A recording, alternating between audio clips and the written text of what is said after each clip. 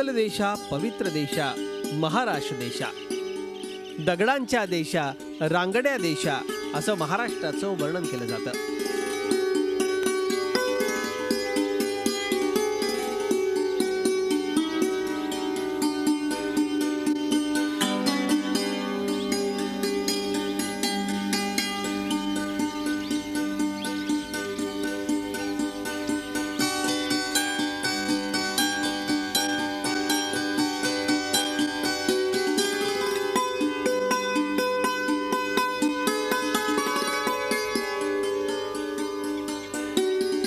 सह्याद्रीच्या ओबडधोबड पर्वतरांगांमध्ये पसरलेल्या याच दगडांच्या महाराष्ट्रात फुलांचा खजिनाही दडलाय. साताऱ्याच्या काशच्या पठारावर.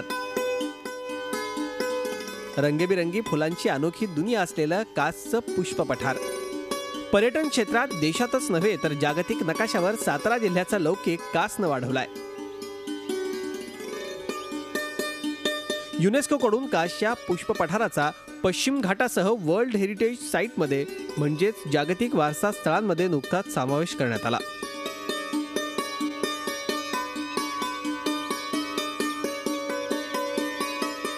साताऱ्याची ओळख खऱ्या अर्थानं साता समुद्रापार झाली ती या पुष्प पठारामुळंच सातारा शहरापासून अवघ्या तेवीस किलोमीटरवरती धर्तीवरचा हा स्वर्ग वसलेला आहे.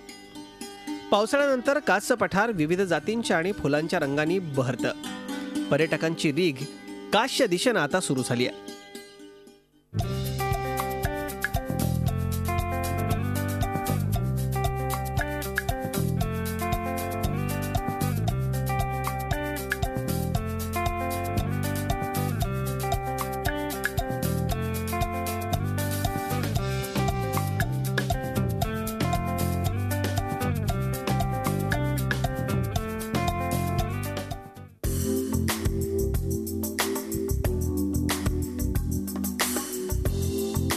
नागमोडी वळण आणि घाट संपला की विस्तीर्ण असं कासचं पठार दृष्टीपथात येतं. हेच ते ऐतिहासिक कासचं पठार.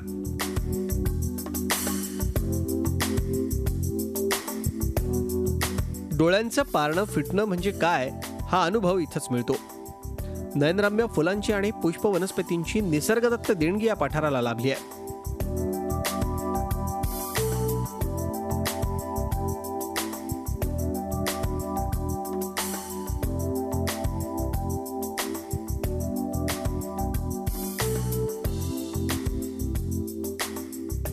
लाल माती आणि खडकाळ भागात वस्तीर्ण पठारावर आपली नजरही पोहोचत नाही.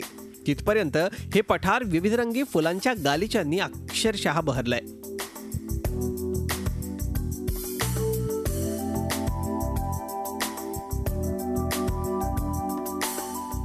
बोचरा वारा इथं पर्यटकांच्या स्वागताला सज्ज असतो.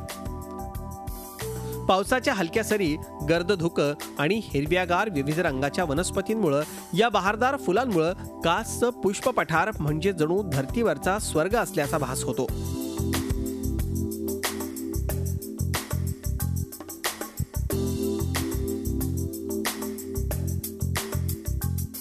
साक्षात सूर्यकिरणांच्या इंद्रधनुष्यी छटा. क्षणार्धात दाट धुकं रिमझिम पावसाच्या सरी असं अकस्मात नूर पालटणारं वातावरण प्रत्येकालाच मोहात पाडतं.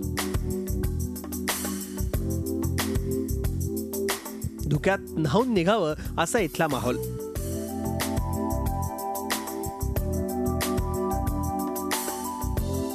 वर्ल्ड हेरिटेज कमिटीनं जुलै दोन हजारमध्ये मान्य केलेल्या पश्चिम घाटातल्या एकोणचाळीस ठिकाणांपैकी एक म्हणजे कासचं पठार फुलांसाठी एकमेव नैसर्गिक वारसा स्थळ म्हणून मानांकन प्राप्त झालेलं हे एकमेव ठिकाण आहे.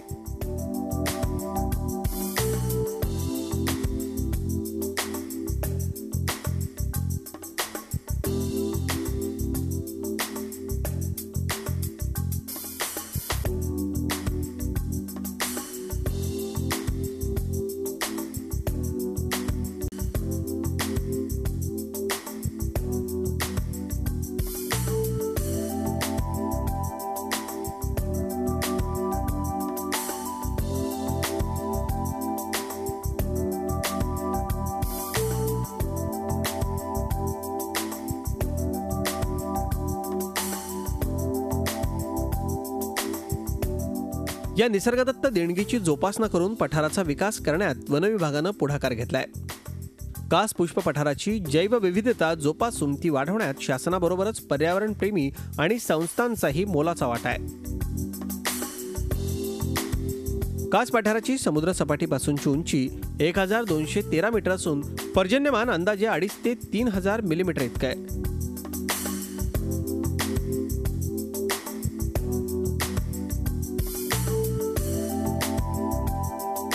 हे पठार सतराशे ब्याण्णव हेक्टरवरती वसलं असून त्यामध्ये वनखात्याची अकराशे बेचाळीस हेक्टर तर खाजगी सहाशे पन्नास हेक्टर जमीन आहे.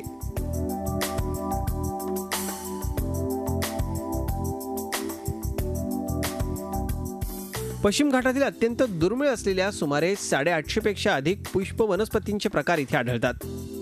यामध्ये औषधी वनस्पतींचा अधिक समावेश होतो.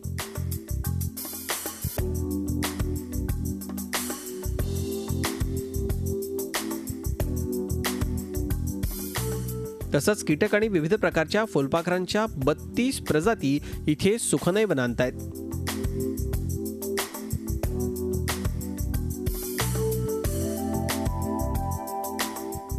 सरपटणाऱ्या प्राण्यांच्या एकोणीस प्रजाती सस्तन प्राण्यांच्या दहा प्रजाती आणि पक्ष्यांच्या तीस प्रजाती इथे आढळून येतात. कास पठार आणि परिसरात प्रदेशनिष्ठ दुर्मिळ आणि अतिदुर्मिळ वनस्पती आहेत.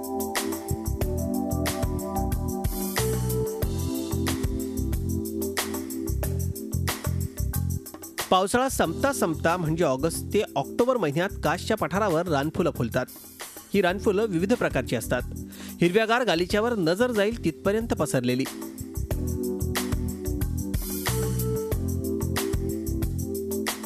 वाऱ्याची झुळूक आली की डोलणारी. नानाविध रंगांची फुलं अक्षरशः मन मोहून टाकतात. त्यांचं एक वैशिष्ट्य म्हणजे दर पंधरा दिवसांनी त्यांचा रंग बदलत असतो. काही फुलं दरवर्षी येतात तर काही फुलं मात्र दर सात वर्षांनी भेटीला येतात.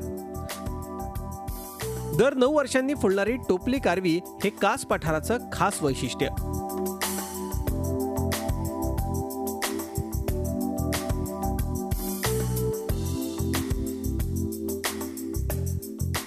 हा दैवदुर्लभ योग पाहणारा भाग्यवंतच म्हटला पाहिजे.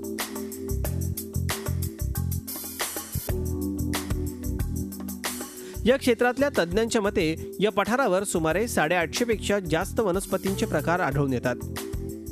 यात फॅमिली जिनेरा जाती आणि औषधी वनस्पती नोंदवल्या गेल्यात. जून महिना संपताच कास पठारावरच्या सड्यावरचा चमत्कार दिसू लागतो. बालकवींच्या शब्दात सांगायचं झालं तर हिरवे हिरवे गारगालीचे हरिततृणांच्या मखमालीचे असंच म्हणता येईल. हे देखणं रूप म्हणजे महाराष्ट्राचं पुष्पवैभव आहे.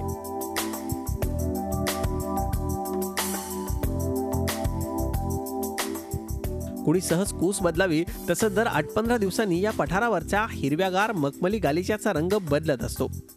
पांढरा शुभ्र लाल निळा जांभळा पिवळा आबोली अशा कितीतरी फुलांच्या छटांचं हे पुष्पवैभव डोळ्यांचं पारण फेडतं.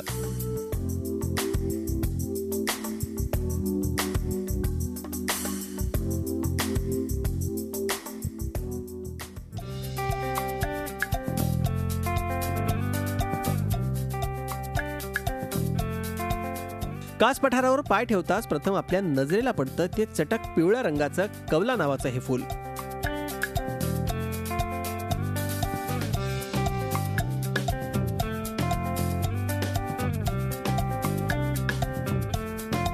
स्मिथिया किंवा कव कवळा अशा नावानं ओळखलं जाणारे हे फूल.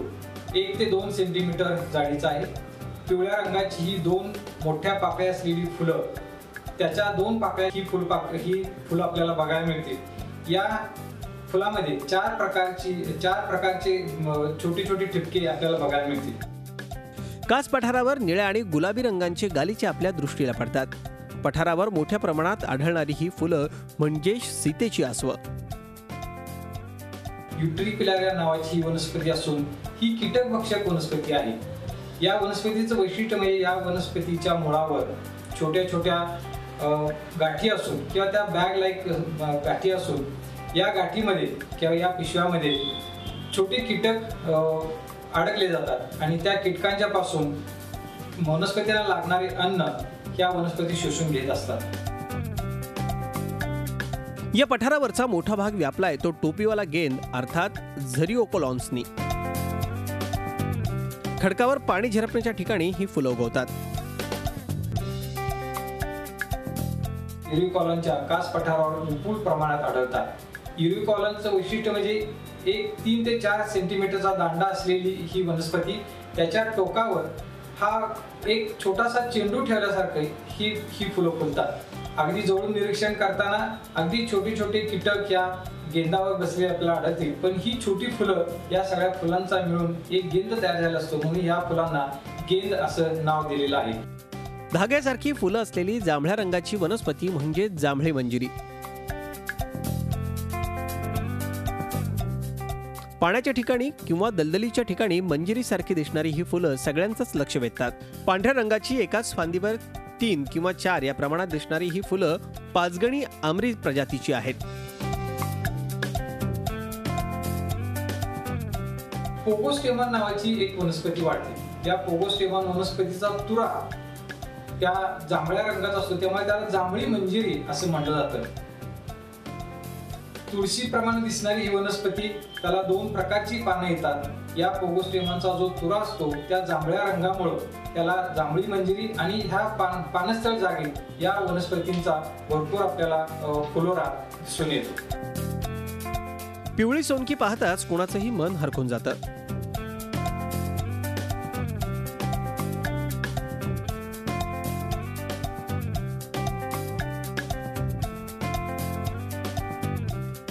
एकाच फांदीवर पांढरी आणि काळी छटा असलेली ही वनस्पती म्हणजे पंद एका फांदीवर सहा ते आठ अशा प्रमाणात ही फुलं उमलतात.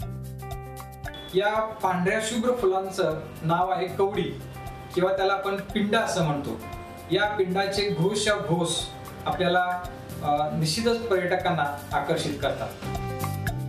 दुर्मिळ आणि भारतात केवळ काशच्या पठारावरच आढळणारी ही वनस्पती म्हणजे वायतुरा. कासपठावर ज्या पानस्थळ जागा आहेत त्या जागांमध्ये अत्यंत दुर्मिळ अशी वनस्पती आपल्याला कासपठारावर बघायला मिळेल. त्या वनस्पतीचं नाव आहे वायुतुरा. अपोनोजिटान या अपोनोजिटान ही वन अपोनोजिटान वनस्पतीचं वैशिष्ट्य असं आहे की या वनस्पती ह्या ज्या कासपठारावर वनस्पती मिळतात त्या अपोनोजिटानचं कुठंही वर्गीकरण झालेलं नव्हतं.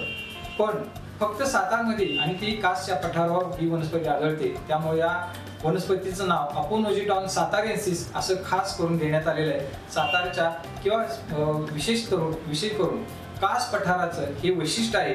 ही वनस्पती आहे अपोनोजिटॉन सातारेन्सिस फुलांवर पडलेल्या दवबिंदूंसारखी दिसणारी ही आगळीवेगळी वनस्पती म्हणजे ड्रोसेरा इंडिका अर्थात गवती दवबिंदू.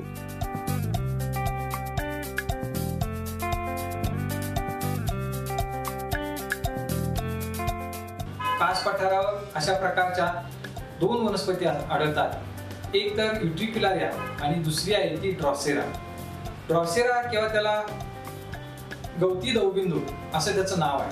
ड्रॉसेराचं वैशिष्ट्य म्हणजे या ड्रॉसेराच्या पानावर जमिनीलगत पानं वाढतात तांबड्या रंगाच्या त्याच्यावर गाठी असतात. या गाठीमध्ये चिकट द्रव्य असतं.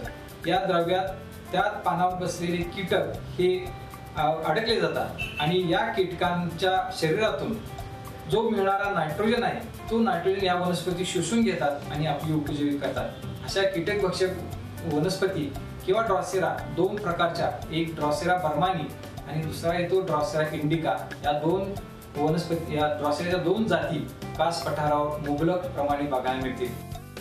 जून महिना संपता संपता पांढरे हबे आमरीचे कोंब काशच्या पठारावर उमलतात. तसंच दोन तुऱ्याची वायतुरा ही वनस्पती दिसते. हीच ती एपिनोजेटोन सातारन्सिस म्हणजेच सातारा का स्पेशल फूल लगेचच पण पर्यावरण रक्षणासाठी सगळ्यांनीच मोह टाळून या निसर्गदत्त पुष्प पठाराचं नजरेत संकलन करायलाच हवं. श्रावणात निळी सीतेची आसव आणि लाल रंगाची तेरड्याची फुलं. मध्ये मध्ये पांढऱ्या रंगाच्या गेंदांच्या फुलांचे ताटवेच्या ताटवे फुललेले दिसतात.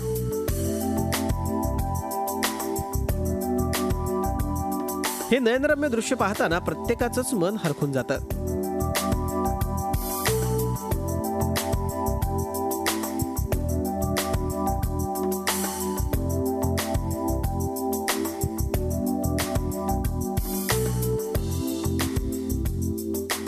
या फुलांचा बहर कमी होईपर्यंत पांढरे तुरेवाली आंबरी वर येते. मोठमोठ्या तळांमध्ये पांढरी छोटी छोटी कुमुदिनीची कमळं संपूर्ण तलाव झाकळून टाकतात. तळ्यामध्ये जणू साठा करून ठेवल्यासारखी ही कमळांची फुलं. कॅमेऱ्यातून अलगद एखादा स्नॅप घेऊन तो संग्रही ठेवण्याचा मोह यांना पाहून नक्कीच पडतो. या व्यतिरिक्त कॅन्स्कोरा आहे पॉलिगोनम आहे आणि वेगवेगळ्या प्रकारच्या वनस्पती या कास पठारावर बघायला मिळतील. इथल्या काही वनस्पती दुर्मिळ असून काही कीटकभक्षी तर काही वनौषधी आहेत. दरवर्षी इथे देशी विदेशी शास्त्रज्ञ दुर्मिळ फुलांचा अभ्यास करण्यासाठी आवर्जून पाहुणचाराला येतात. अलीकडच्या काही वर्षात मोठ्या प्रमाणावर पर्यटकही नियमितपणे कास पठाराला भेट देत आहेत.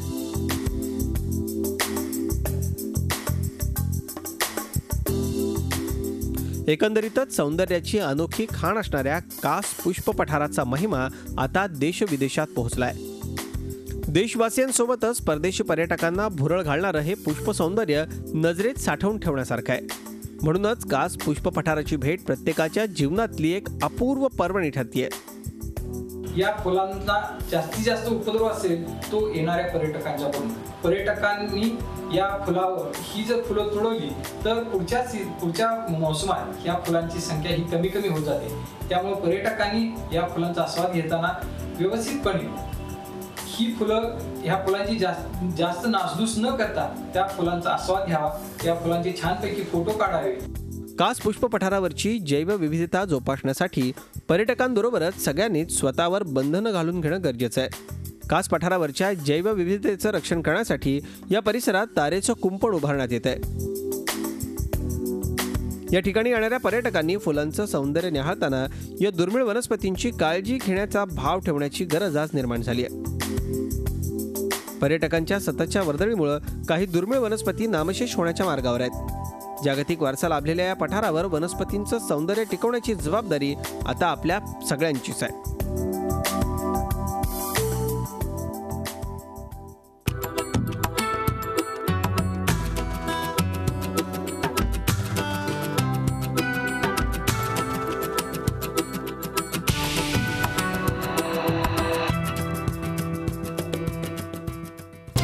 चोवीस तास एक पाऊल पुढे.